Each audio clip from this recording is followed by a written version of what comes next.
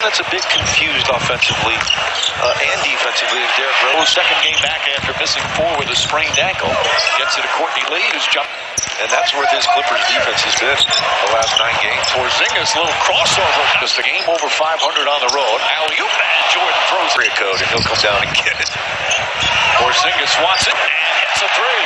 Kristaps Porzingis. The foul trouble's a problem with Porzingis, right? Doesn't he lead the league in fouls per game? Yes, he does. Talented defender. Derrick Rose steps back, and 16 for 26. Redick's jumper. That's He didn't start the last four games. Part of the reason why their numbers were down. Anthony Lewis. Rivers up top. Griffin. Griffin fakes, fires, and hits. Goes to Porzingis, wide open. Dribbles inside the arc. Have seven assists here in the first quarter. Better ball movement tonight. And